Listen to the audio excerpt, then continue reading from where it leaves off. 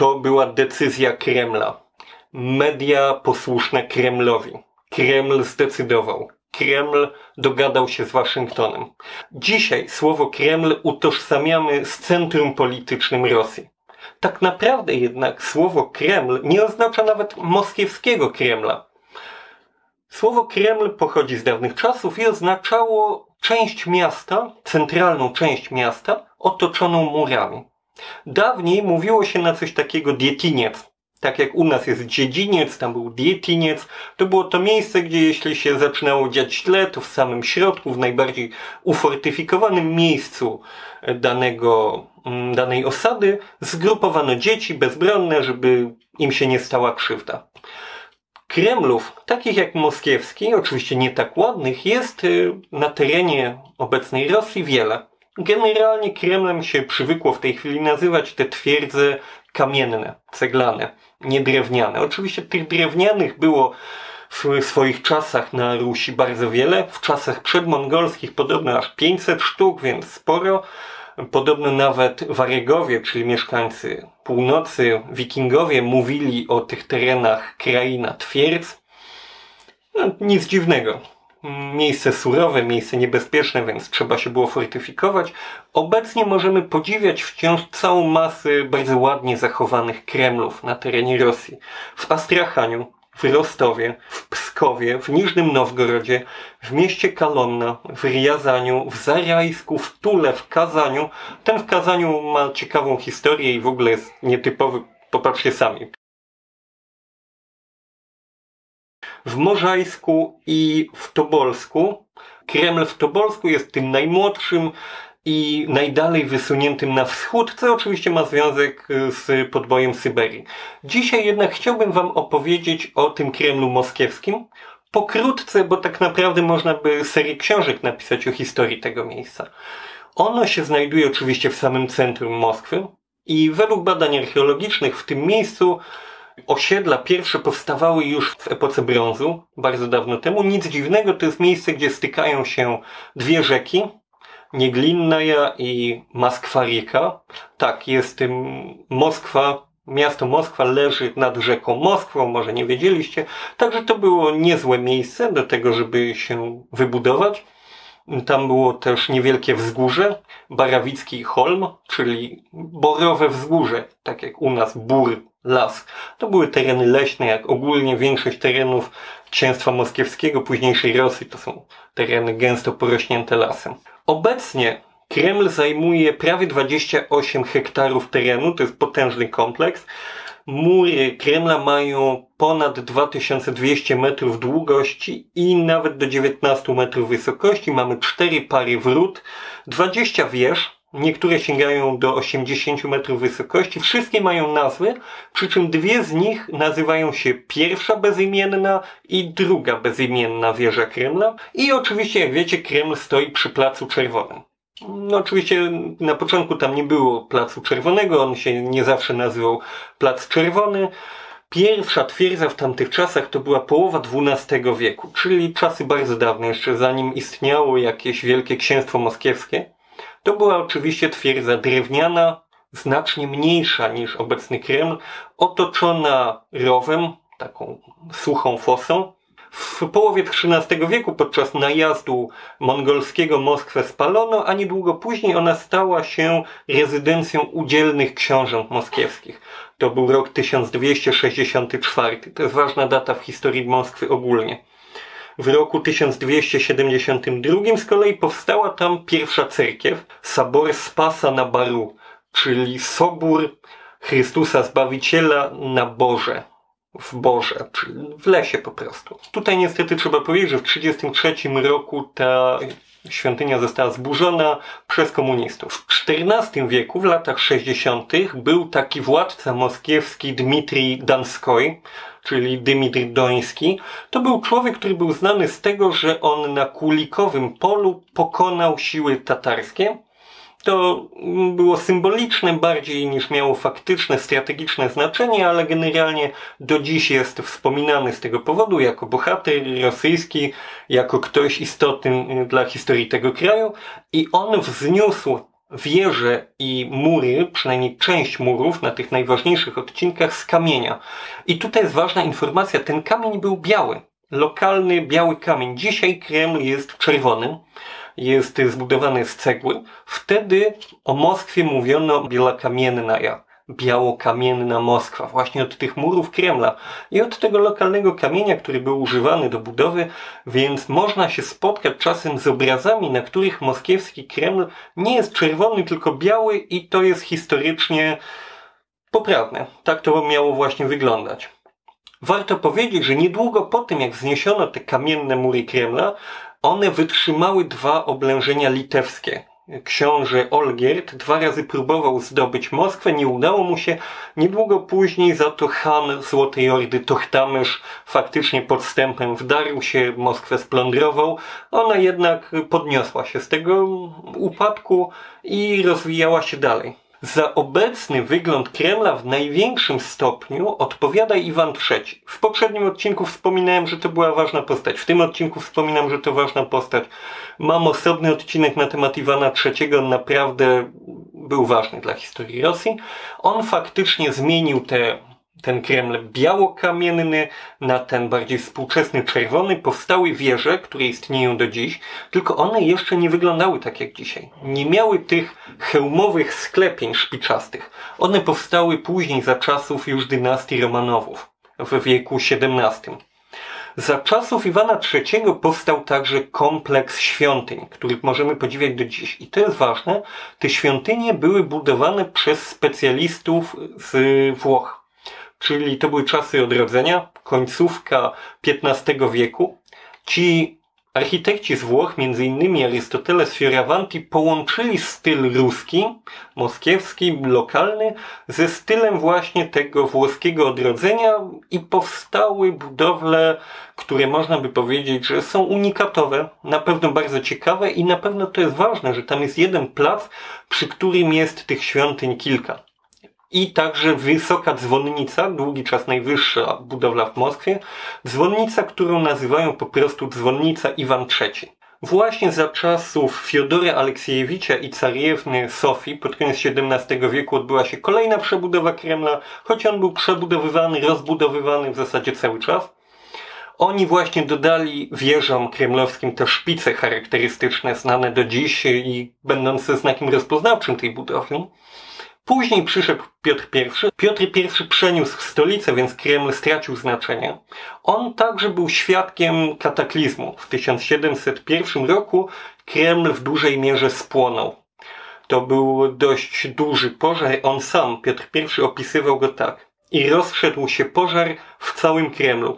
Wypalił się pałac carski do ostatka, drewniane siedziby i kamienne całe we wnętrzu.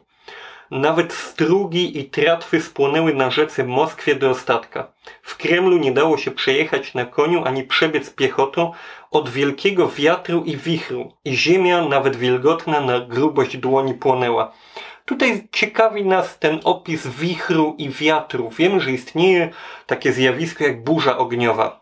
Ono miało miejsce na przykład podczas II wojny światowej, jak miasta były bombardowane, pożary były gigantyczne, to tworzył się taki słup gorącego powietrza, który uciekał do góry i ten pożar de facto zasysał więcej powietrza do wewnątrz z taką siłą, do wewnątrz pożaru z taką siłą, że był w stanie nawet wciągać ludzi do środka. Przerażające zjawisko. Czy wtedy coś takiego miało miejsce? Trudno powiedzieć, ale ten opis może wskazywać, że faktycznie być może tak.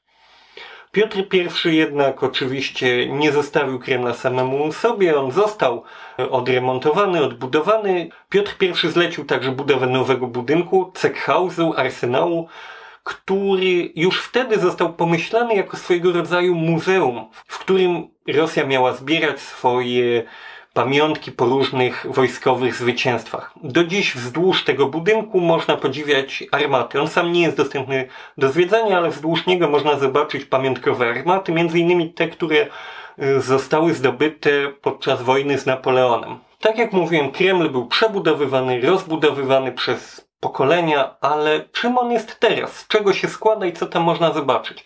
Tak jak mówiłem, to jest 28 prawie hektarów terenu. To nie jest zamek, to jest kompleks. Znajdując się w środku, można nie zwrócić uwagi na to, że jesteśmy za murami. Część z tych miejsc jest dostępnych do zwiedzania, część z nich pełni funkcje publiczne. Na przykład budynek Senatu, wzniesiony w czasach Katarzyny II, to jest miejsce, w którym znajduje się gabinet roboczy prezydenta Rosji, Władimira Putina. Teoretycznie na Kremlu znajduje się także jego paradna siedziba, w której oficjalnie może zamieszkiwać. Wiemy, że raczej Władimir Putin nie korzysta z tego przywileju zbyt często. On ma swoje pałace, swoje rezydencje, ale to jest oficjalna siedziba prezydenta Rosji. Także w tym budynku Senatu mm, pracowali właśnie i Dmitrij Miedwiediew. I teraz pracuje, jak przez ostatnich 20 lat, niecałych Władimir Putin, oprócz tego momentu, kiedy to był Miedwiediew. I Borys Jelcyn miał tu gabinet. I Breżniew, Gorbaczow, Chruszczow, Stalin, Lenin, mm, cała masa ludzi. Także budynek, jakby to ująć, pełen historii. Zresztą ten budynek znajduje się bardzo blisko, w linii prostej mauzoleum Lenina i grobu Stalina, który spoczywa obok, w ziemi, bezpośrednio za murem, można powiedzieć. Istnieje nawet plotka, że da się przejść z tego budynku podziemnym przejściem do mauzoleum Lenina. Oczywiście jednak budynku Senatu nie zwiedzimy. Co za to możemy zwiedzić? Możemy zwiedzić budynek, który nazywa się Arużejna Palata, czyli zbrojownia i faktycznie da się tam zobaczyć wiele ciekawego uzbrojenia. Są i zbroje i broń, ale nie tylko. Są powozy, są jajka Faberże, są suknie carycy Katarzyny II na przykład, są insygnia królewskie. Znajduje się tam na przykład uznawana za najważniejszy eksponat czapka Monomacha. To było, to była korona carów rosyjskich. Ona wygląda jak czapka ludów stepowych typowa. Ale Monomach, od którego ona wzięła swoje imię, to był wielki książę kijowski, Włodzimierz II Monomach. Jakie jest prawdziwe pochodzenie tej czapki? Kto ją zrobił? Kiedy ją zrobił? Skąd ona się wzięła w księstwie moskiewskim? Tak naprawdę do dzisiaj nie wiemy. Tak czy inaczej, ta część Kremla jest szalenie ciekawa i jeśli kiedykolwiek tam będziecie, naprawdę warto tam zajrzeć. W życiu nie widziałem tyle złota. Obok znajduje się Balszoj Kremlowski Dwariec, czyli Wielki Pałac Kremlowski. To jest właśnie to miejsce, którego wnętrza możemy podziwiać na różnego typu relacjach z uroczystości państwowych rosyjskich, na przykład inauguracja kolejnych prezydentów, kolejnych prezydentów, wiem, to śmiesznie brzmi, inauguracje Władimira Putina odbywają się właśnie tutaj. W tym pałacu znajduje się kilka takich sal paradnych, sal używanych podczas spotkań dyplomatycznych, bardzo bogato zdobionych. One się nazywają od nazw orderów Imperium Rosyjskiego, czyli to jest Andrzejewski Zal, Aleksandrowski Zal, Władimirski Zal i Georgiewski Zal. One są bardzo ładne. Z tego co czytałem, istnieje możliwość zwiedzania tego miejsca. Były opisy wycieczek, natomiast kiedy patrzyłem na stronę z biletami, z zakupem biletów online i wycieczek po Kremlu, to nie znalazłem możliwości zwiedzania tej części Kremla. Nie wiem, czy to jest tymczasowo zamknięte, trudno mi w tej chwili powiedzieć, ale kiedyś taka możliwość była. Znowu obok jest właśnie Saborna Japlosiec, czyli plac soborowy. Tam się znajduje kilka pięknych świątyń, tych z czasów Iwana III i sama dzwonnica Iwan III. I tutaj najważniejszą cerkwią i w ogóle najważniejszą na terenie imperium cerkwią jest Uspieński Sabor. To była ta świątynia, w której po śmierci spoczywali metropolici i patriarchowie. Obok niej znajduje się Archangielski Sabor, to jest miejsce, w którym chowano władców, czyli wielkich książąt i carów. Tam można zobaczyć chociażby trumnę Iwana IV Groźnego. A jeszcze obok jest Blagawiesiński Sabor, czyli taka cerkiew domowa carów rosyjskich, wielkich książąt rosyjskich, tam gdzie oni po prostu w czasie swojego życia chodzili na różnego typu uroczystości cerkiewne. Także miejsce bardzo ciekawe i bardzo ważne. Warto powiedzieć, że wnętrza tych świątyń są ciemne, stare. Te freski, te ikony z czasem ciemniały i takie stare cerkwie są ciemne. Jeśli chcecie zobaczyć, jak one wyglądały, jak były nowe, to trzeba pójść kawałek dalej poza Kreml. Tam jest taka gigantyczna świątynia y, Chrysta Spasitelia, czyli Chrystusa Zbawiciela. Ona została zbudowana przez tego samego architekta, który zbudował wielki pałac kremlowski. I ona została zniszczona w czasach bolszewików po rewolucji październikowej.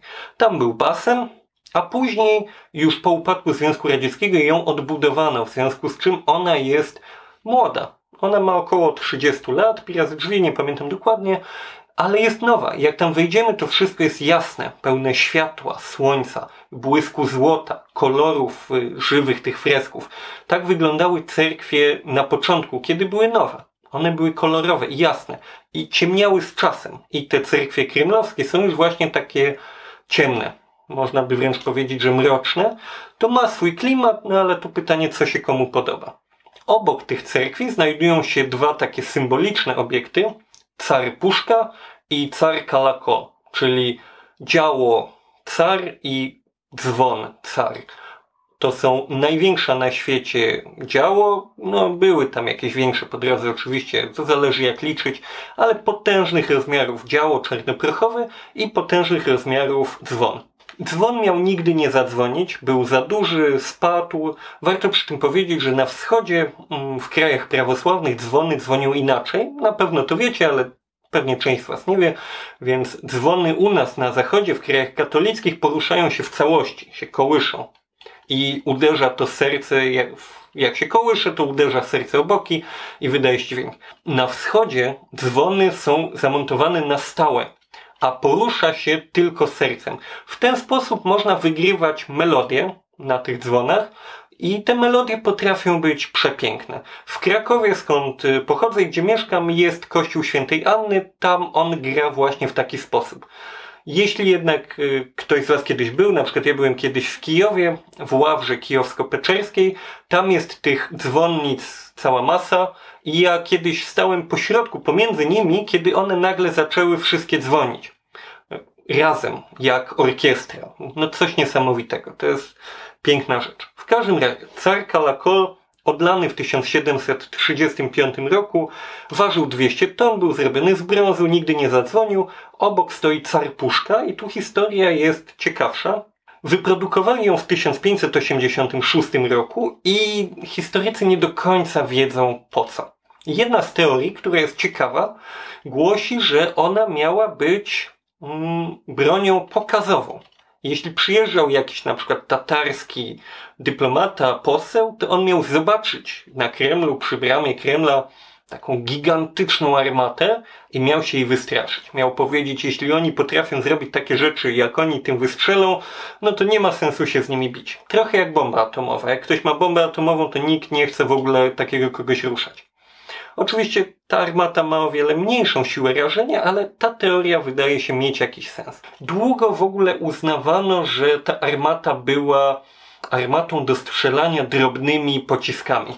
Tak rozbryzgowo jak strzelba śrutówka. Zresztą po rosyjsku jest to samo słowo na taki typ armaty i na strzelbę śrutówkę drabawik. I długo tak myślano. Później jednak dogłębnie zbadano to działo. W roku 1980 je zabrano do zakładów przemysłowych pojawili się naukowcy z Akademii imienia Feliksa Dzierżyńskiego, zbadali dokładnie, uznali po pierwsze, że prawdopodobnie to była zwykła bombarda, po drugie, że prawdopodobnie przynajmniej raz z niej wystrzelono jednak. Czy to jest prawda, czy to był strzał paradny, testowy, czy wykonany w warunkach bojowych? Trudno powiedzieć. O tym, żeby ona była użyta bojowo, źródła milczą więc nie wiadomo. Warto tutaj powiedzieć, że w tej chwili ta armata stoi na lawecie odlanej także z metalu, a obok niej stoją kule do tej armaty pasujące, tylko że i te kule i tą lawetę odlano już w XIX wieku, w czasach kiedy ona już pełniła tylko i wyłącznie funkcje ozdobne. Tak czy inaczej, obiekt jako obiekt historyczny muzealny jest ciekawy. Co jeszcze znajduje się na Kremlu?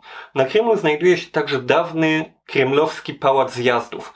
Ewidentnie widać, że o ile mm, duża część tych budynków jest bardzo stara, mury generalnie pasują do tych najważniejszych świątyń, do dzwonnicy, to jest właśnie te czasy Iwana III. Później pojawiły się nowsze budynki, jak Ceckhaus Piotra I, budynek Senatu za czasów Katarzyny II postawiony, czy Wielki Pałac Kremlowski z XIX wieku. One do siebie stylem pasują, po czym w tym wszystkim możemy zobaczyć budynek z XX wieku. Taki wręcz kojarzący się wprost z architekturą socjalistyczną. I to faktycznie był pałac zjazdów, który został zbudowany po to, żeby odbywały się w nim zjazdy partii komunistycznej. W XXI wieku odbywały się w nim zresztą zjazdy innych partii, na przykład w roku 2019 LDPR, jednak na co dzień w tym miejscu jest scena teatralna. Można tam zobaczyć występy operowe i baletowe Teatru Balszoj, Także wydaje mi się, że jeśli lubicie tego typu występy, to gdybyście byli w Moskwie, to pójście na balet na terytorium Kremla byłoby fajną okazją. Polecam. Jak w ogóle wygląda zwiedzanie Kremla? Zacznę od tego, że w tej chwili bilety można kupić dwa. W ogóle, żeby tam wejść, trzeba kupić bilet można kupić albo bilet do właśnie tej arużejnej palaty, czyli do arsenału tego muzeum z koronami, medalami, zbrojami, powozami itd. Tak tam to kosztuje 1000 rubli, ten normalny bilet, a kompleks soborów kosztuje 700 rubli. Jak już kupimy taki bilet, można tam normalnie wejść do środka, przejście po całej, po okolicy. Oczywiście nie wszędzie da się zajrzeć, ale generalnie można się po tym terytorium przejść, a jak mamy konkretny bilet, to możemy wejść do środka. Razem to jest 1700 rubli, czyli 87 zł, bez przewodnika, ale no cena jak za to, co dostajemy, wydaje się w pełni adekwatna. Ja bym zapłacił. Zresztą byłem dwa razy, także ja bym zapłacił. Warto tutaj powiedzieć, że Kreml jest terytorium chronionym. Trzeba się szykować, że kiedy tam wchodzimy, to trzeba przejść przez taką mniej więcej kontrolę jak na lotnisku. Ja tam kiedyś próbowałem wejść, y, miałem scyzoryk. I żołnierz, który tego pilnował, mnie zatrzymał, no bo na bramkach zadźwięczałem, no i wyciągam scyzoryk, taki dość spory, no to powiem wam, był zdziwiony. Ale nie zrobił problemów, zaniosłem do przechowalni bagażu, poszedłem jeszcze raz, wszedłem, wszystko w porządku. Także da się. Jeśli będziecie kiedyś w Moskwie, to zachęcam. To oczywiście jest duży skrót informacji, warto poczytać, bo to jest miejsce o bogatej historii, bardzo ciekawe. Jeśli podobał Wam się ten odcinek, zachęcam do subskrybowania kanału. Jeśli już to robicie, możecie też zajrzeć na mojego Patronite'a, a w opisie jest też link do podcastu, który prowadzę z doktorem Bartoszem Gołąbkiem. Zapraszam.